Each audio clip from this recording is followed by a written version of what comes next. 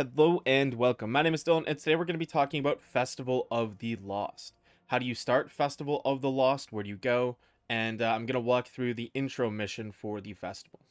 So for me, it's E, and I'm going to go here, and it says Visit Eva in the Tower Courtyard for Festival of the Lost. All right, we are in the tower here. Let's walk up to Eva right beside the tree in the center.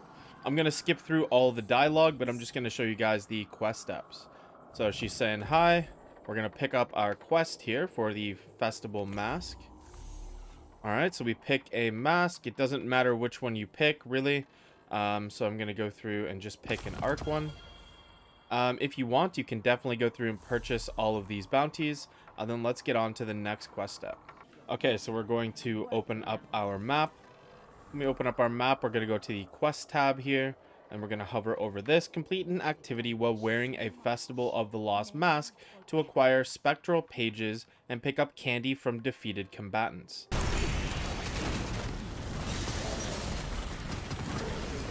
Okay, so I will have just played me completing a heroic public event, and for that one I got three spectral pages. A quick note here, um, editing the video, you can complete public events, but you can also complete a playlist activity.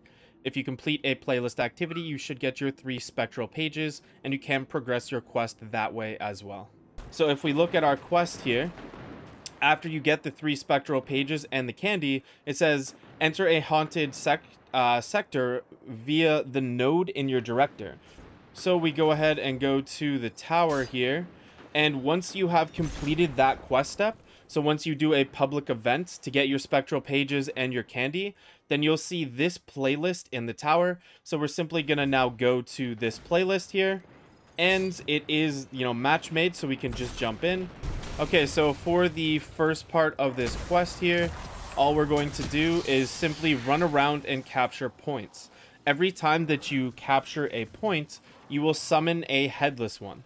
So we'll see on the left-hand side there that you summon nine headless ones total, but it gives you around five minutes to be able to summon them all and kill them. Uh, it does look like we have to wait till the end of the timer on the left-hand side, and by summoning all of the headless ones, you can see a message in the uh, middle left-hand side of my screen there that says all spectral pages manifested. So that means that I've we've gotten all nine, and we're simply waiting for the next stage of the event. As far as what weapons I recommend for this, the Falling Guillotine is incredible uh, for this type of thing where you're killing a ton of like mini bosses. And um, I would also recommend the Witherhoard if you do have it. If you're a free-to-play player or you don't have those weapons, then rocket launchers and grenade launchers would be very, very good. So it looks now like we have a boss here. Um, he has a shield. So let's go ahead and try to summon some headless ones and see if we can get something from them to be able to fight the shield. So seemingly they drop a bunch of loot and they also drop pumpkins. And you can pick up these pumpkins and then throw them at the boss. Once you do that, it will disrupt the shield.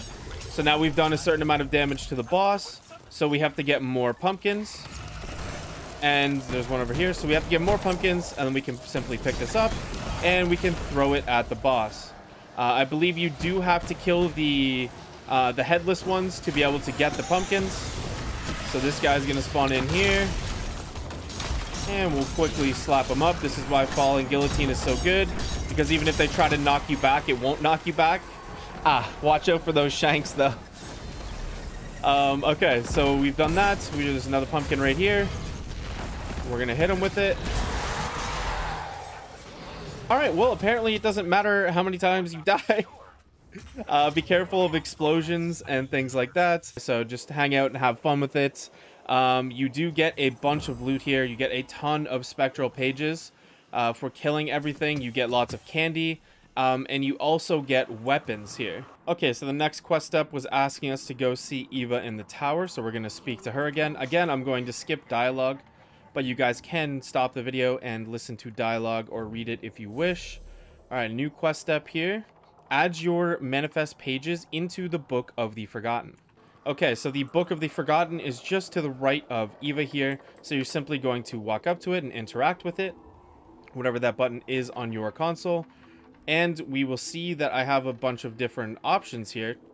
So I'm simply going to go acquire. And it looks like I can acquire two of these pages overall. Okay, so we've completed two of the lore pages here. And if you click details on them, if you're interested in the lore, you can go through and read them after you have acquired them. Okay, so we're about to talk to Eva Levante again after the pages. Make sure you have one inventory space in your second weapon slot because you will receive this weapon. So we get this Jurassic Green Pulse Rifle. And we also get an emblem. And seemingly we have completed the quest.